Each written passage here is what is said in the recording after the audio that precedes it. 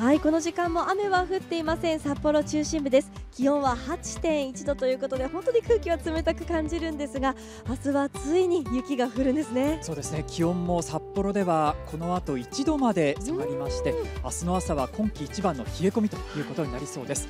では今週末の天気のポイント空ナビで見ていきたいと思います。こちらですこの週末は12月並みの寒さになりそうです。平地でも雪が降って積もるところもありそうですね。路面の凍結状況の変化にご注意ください。では土日の予想降雪量から見ていきます。まず画面の左側です。明日土曜日東北や内陸日本海側を中心に雪の量が多くなりそうです。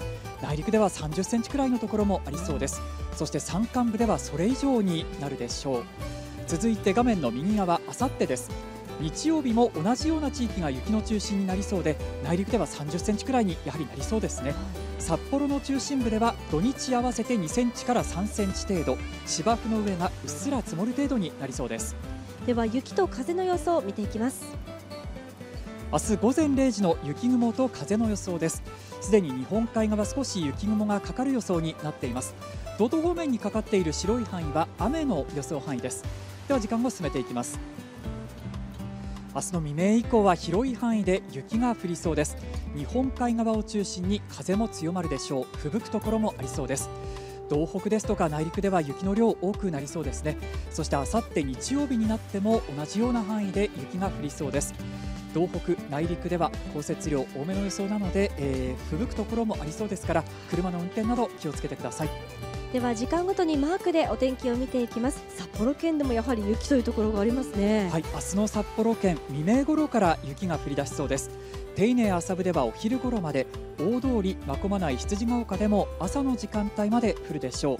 中心部ではべしゃべしゃ路面ということになりそうです。防水の効いた靴を用意してください。峠ですとか山間部では10センチから20センチくらい降りそうです。その他の南西部でもやはり雪注意ということですねはい。小樽や倶知安江差では1日を通して断続的に雪が降りそうです。江差の周辺風が強くなりますので吹雪く時間帯もあるでしょう。ちょっと見通しの悪さとかにも気をつけた方がいいですね。はい。湿った雪になりそうですね、はい、続いて北部です。上川地方の内陸部を中心に雪の降る量多くなりそうです。海沿いでは風も強く吹きますので車の運転などは注意が必要です。続いて東部の予報を見ていきます門別では朝と夜網走は夜の時間帯に雪が降るでしょう。太平洋側の地域を中心に晴れの時間が長くなりそうです。気温もぐっと下がりますよね。では明日の気温見ていきましょう。まず最低気温最高気温ともに今日よりも10度以上低くなるところが多くなりそうです。朝は2度前後のところが多く平年並みの予想となっています。そして日中も気温はあまり上がりません、西側の地域では3度前後東側の地域でも5度前後の予想です。上川地方ですとか後志地方などでは最高気温が0度未満の真冬日になるところも出てきそうです。今シーズン初めての真冬日というところも出てきそうですね。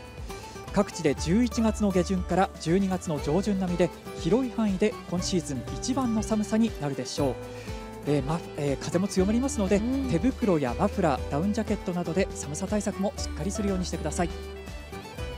さてこの雪なんですけれどもこの先まだしばらく続きそうですね。はい週明けにかけて続きそうです。この先の天気週間予報を見ていきます。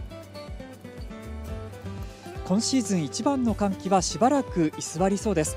札幌や岩見沢では週明けの火曜日頃まで雪の降りやすい天気が続くでしょう次に広い範囲で晴れの天気になりそうなのは来週の水曜日になりそうです、うん、火曜日頃までは最高気温5度前後の日が続く予想で水曜日頃からは少しずつ気温が上がっていくでしょう。ぐっと下がりますのでウールのコートとかもしっかり必要ですし、はい、ただあのべちゃっとした雪になるということですね。そうなんですよね。ですからまあ傘も必要になってきますね。千歳では朝の最低気温氷点下5度の日もあって冷え込みが強まりそうです。北部と東部見ていきましょうこちらも週末から週明けにかけて稚内や旭川では雪の日が続く予想です。初雪がまとまった雪になる地域もありますので、はい、車の運転は積雪路面凍結路面に気をつけてください。時間帯によって路面状況の変化に注意が必要です。一方太平洋側では晴れの日が続くでしょう。ただ晴れる分朝の冷え込みが強く氷点下の日も多くなりそうです。さてお伝えしている通り明日は雪が積もるというところもありますので車の運転は冬タイヤでお願いします。